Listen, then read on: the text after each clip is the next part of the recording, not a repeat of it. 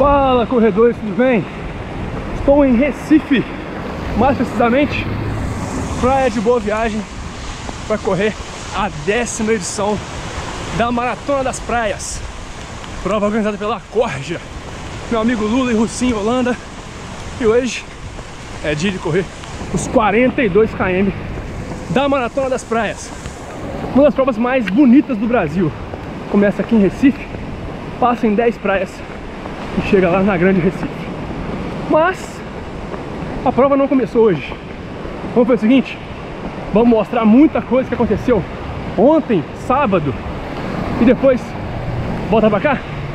Tá começando então mais um programa quilometragem Hoje com a décima edição da Maratona das Praias. Roda a vinheta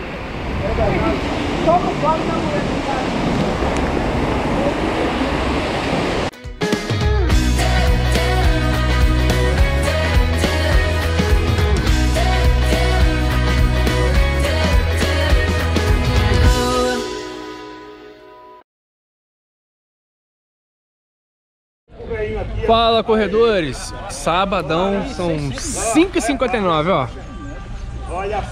Estamos no Parque da Jaqueira. Aqui é o onde nasceu a corja ó. E vai rolar um treininho especial em comemoração aos, no caso, 20 anos do recorde mundial do Ronaldo da Costa. Ó. A galera vai fazer tipo um aquecimento para amanhã Olha a faixa, olha a faixa, opa Opa, o Linha vai comandar o treino. Vai ser um treino de mais ou menos 5 km para poder mostrar a medalha, o tour da medalha do Ronaldo da Costa. E depois vou conversar com ele também. Não sabe quem é Ronaldo da Costa? Pesquise no Google aí. É o maior maratonista brasileiro de todos os tempos. 2 horas 6:05 em Berlim 98. Bateu o recorde mundial e tem o melhor tempo de maratona sul-americano até hoje. Então, meus amigos, é, o cara é demais. Vamos lá, ó. O povo vai correr e eu vou ficar por aqui. Tem bastante gente, hein? Tá com prestígio, hein? Não, é emoção, né? Você merece. Né? A galera tá aí. Fico feliz. Né? Valeu, campeão. Silvio Boia na área. Obrigado aí pela sua participação, Silvinho. Ó, pessoal. Vamos ver o pessoal aqui. Olha a faixa, olha a faixa. Rodo, rodo, rodo, rodo. Vim em Recife. E onde que eu vou? Ó, o espaço da queda aqui é um pouco reduzido, mas tem recovery e é isso que eu vou fazer. Será que tem como fazer um recovery aqui antes de correr amanhã? Olha aí. e aí, Silvio? Como é que eu vou fazer? Aí. E aí, galera, beleza? Tudo bem com vocês? E aí, Silvio? Tem como fazer uma botinha aí? É lógico, que sempre tem, Silvão. Vamos lá. O que, que a gente tem daqui? Aí. O que, que a gente tem daqui era aqui em Recife pra galera que ainda não conhece, que pode vir aqui conhecer? Cara, aqui é pelo menos uh, o, o, espaço que a gente tem aqui na Care em Recife. É, é, o nosso serviço, né, que é tradicional da Care Club, é dar qualidade de vida para essas pessoas ativas e essas pessoas que querem ser ativas, né, tanto principalmente pensando em prevenção, pensando em prevenção nem tanto em reabilitação. É, então a Care de Recife a gente mostra o mesmo serviço que a, que a Care Club no Brasil inteiro, que é a qualidade de vida. É, então, para deixar essas pessoas mais ativas. É com recovery, que é com é, reeducação postural, é, com recursos de fisioterapia, com eletro, eletroanalgesia e outros recursos para cada vez mais deixar esses indivíduos ativos. Ah. Eu vou também para correr amanhã, será? Vamos lá, né? Vamos, vamos ver como é que tá esse corpo desse homem aí. O Diego me deu uma desempenada na quarta, mas o avião ontem empenou de novo. A gente tenta desempenar de novo. Vamos lá então. Bota a botinha no homem que também eu vou vestir. Hora da botinha. Ó.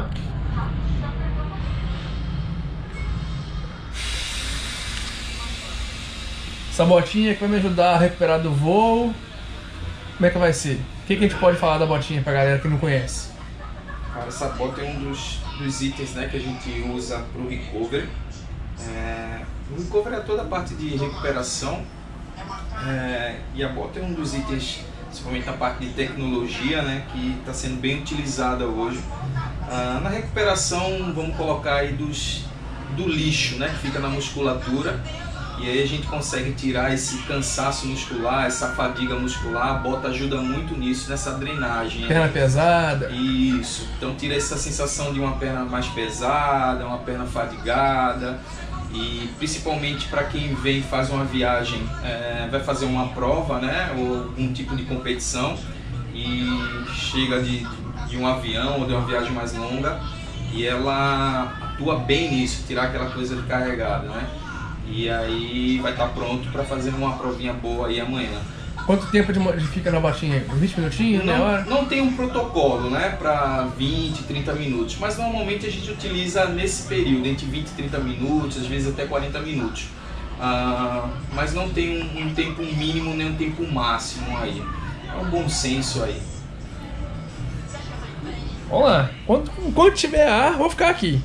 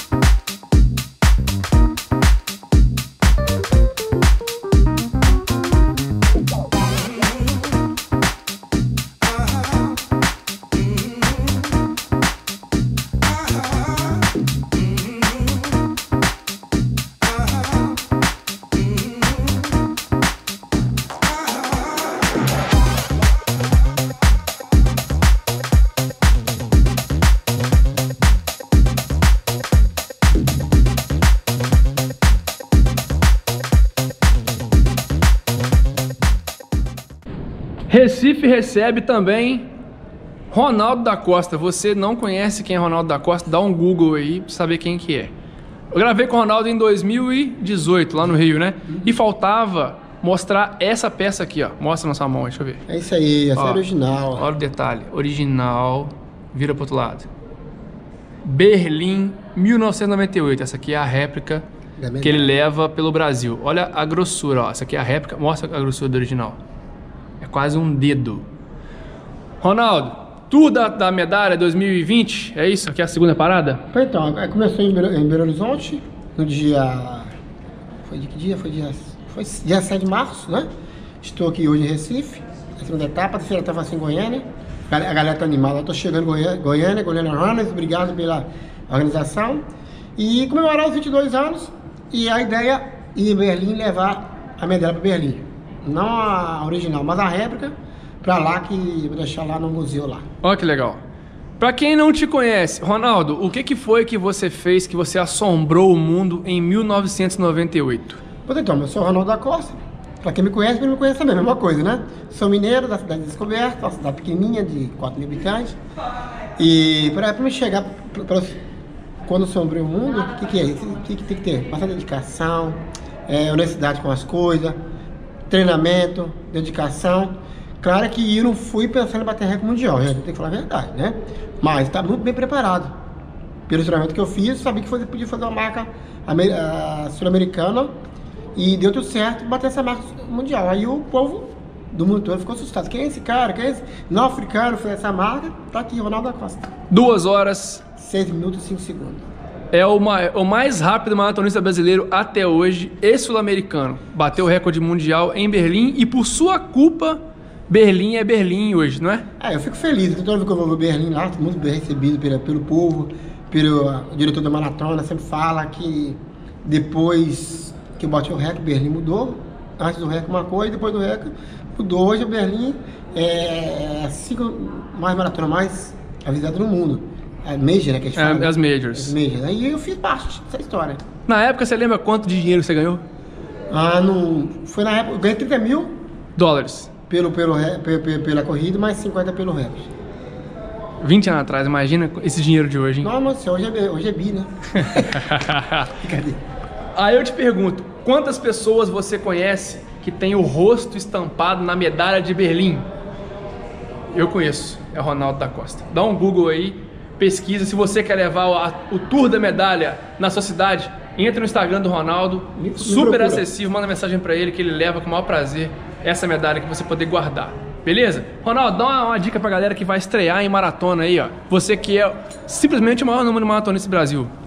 Uma dica pra quem vai estrear e uma dica pra quem quer ser rápido. Pois então, a dica que eu dou para você, em primeiro lugar, que, que tem que começando, tem que ah, procurar um orientador, educação, educador físico, né, é importante, e treinar. Se você treinou bem, não corra maratona sem se não estiver preparado, porque tu vai sofrer, aí você vai adiar a maratona. Então, se prepara, se programa primeiro, planejamento, depois vai e faça a maratona. Tranquilo, calmo. O mais difícil é o meu treinamento. Correr, qualquer um corre no dia lá. Então, se prepara tranquilo, vai dar tudo certo.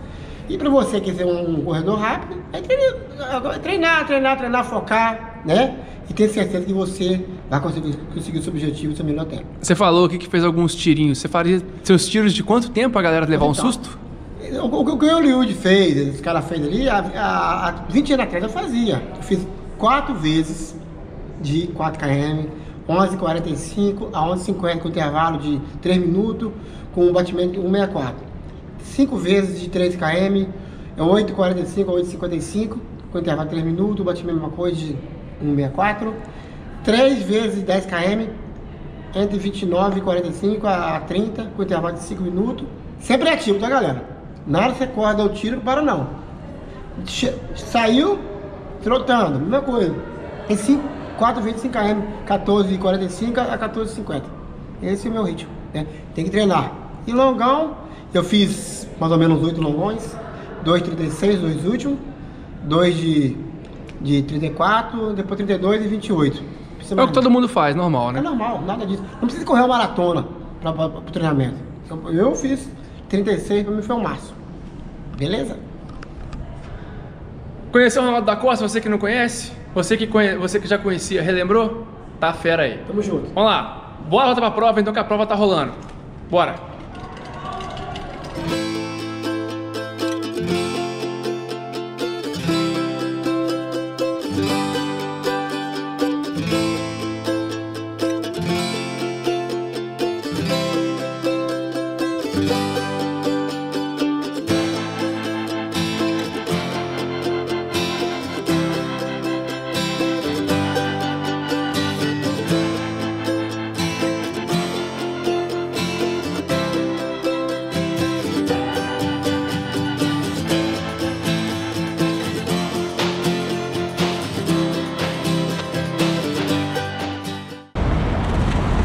Pessoal, domingão. Acredite se quiser, ao sol. Mas já choveu bastante. Como todo mundo já deve saber, a prova, infelizmente, não aconteceu. Mas nós viemos fazer um trotezinho aqui pela Orla de Boa Viagem, Pina. Os amigos que iam correr a prova comigo, ó.